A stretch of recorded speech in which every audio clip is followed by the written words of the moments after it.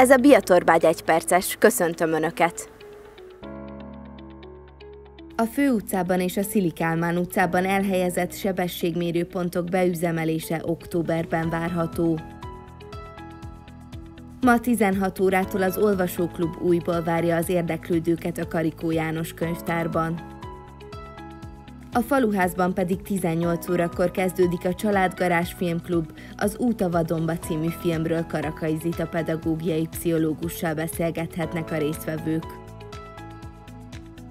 Ma felhőségboltra a délutáni órákban akár záporra is számíthatunk. A hőmérséklet maximum 21 fokig emelkedik, éjszaka minimum 11 fok várható.